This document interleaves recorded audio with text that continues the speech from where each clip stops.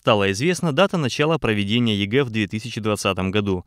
Президент Российской Федерации Владимир Путин предложил регионам начать процедуру сдачи экзамена с 29 июня. Как отметил глава государства, единый госэкзамен в этом году предусмотрен только для тех, кто после школы собирается поступать в высшие учебные заведения. Он призвал руководителей школ в дистанционном режиме оказать помощь выпускникам в подготовке к экзаменам.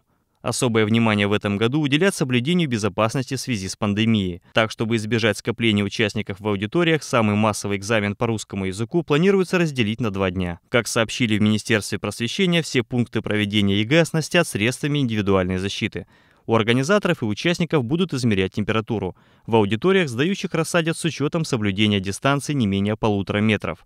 Перед этим пройдет дезинфекция кабинетов.